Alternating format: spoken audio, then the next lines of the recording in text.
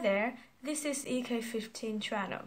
I'm Flower and today I will provide you with the necessary information about the anatomy of a hurricane. We just passed the halfway mark in this year's hurricane season with three hurricanes training in the Atlantic basin. Familiarize yourself with what makes a hurricane because you will be hearing these terms a lot.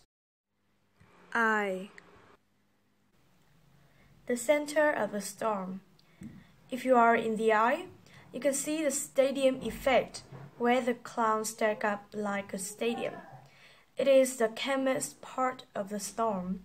You can even see blue sky during the day and stars at night.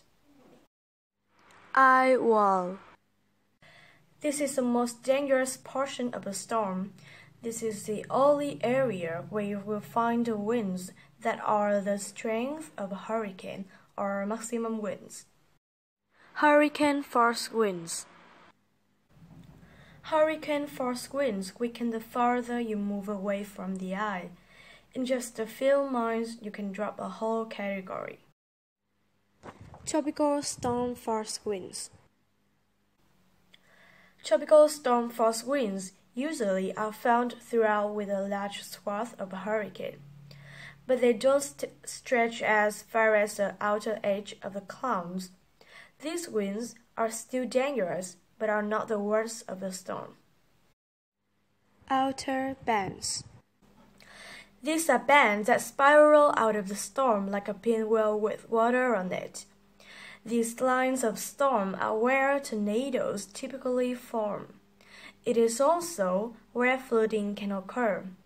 These bands can create a training effect where it just continues to rain in the same place, like we saw in Houston for days after Harvey. For a hurricane to form, it needs warm water, damp air, and winds that come together.